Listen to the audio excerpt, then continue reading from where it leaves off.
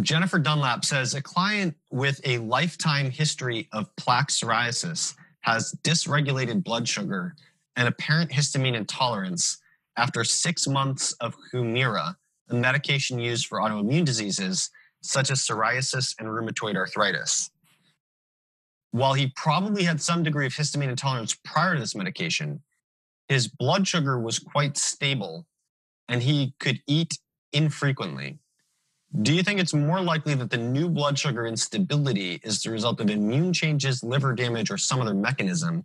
He's eating frequently for now, but I'd like to tell him his liver will recover the resilience he had before.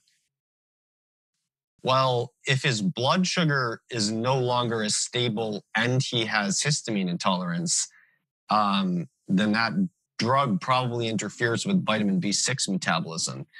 So um, let me uh, let me try to take one minute to uh, to see if I can find quick information on this.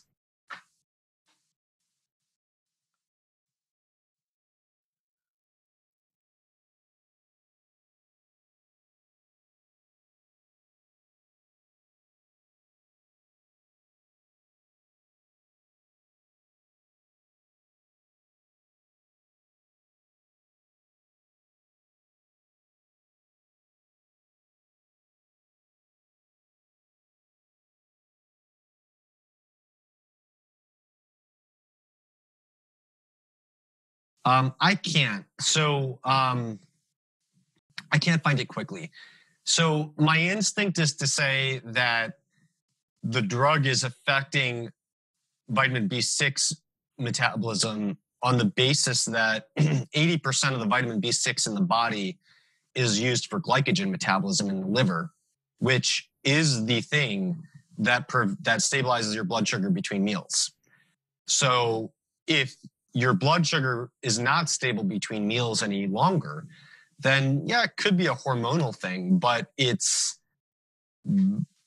it might, you know, the, what it really probably means is that there's something wrong with your ability, the liver's ability to store glycogen or to access the glycogen when it's stored. Because your blood sugar is stabilized between meals exclusively by the liver's glycogen metabolism. So, how does that relate to histamine intolerance? They're both caused by B6 deficiency. So that's my my take. Um, I would I'd measure his his um, blood levels of pyridoxal 5 phosphate. Off top of my head, I believe LabCorp has a test for that. And it would be helpful to look at his excretion of xanthurenate, kynurenate, and quinolinate on an organic acids test.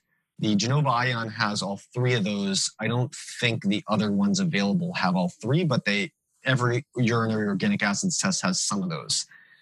Um, and I would go from there. I mean, if you want to save money, just trial a pyridoxal 5 phosphate, which is the active form of B6, trial a supplement of that to see if it helps.